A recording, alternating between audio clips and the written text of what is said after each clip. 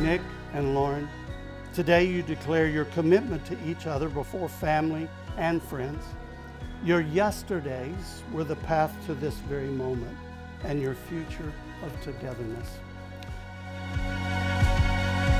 It is my honor and privilege to be the first to present to you as husband and wife, Mr. and Mrs. Nicholas Backus.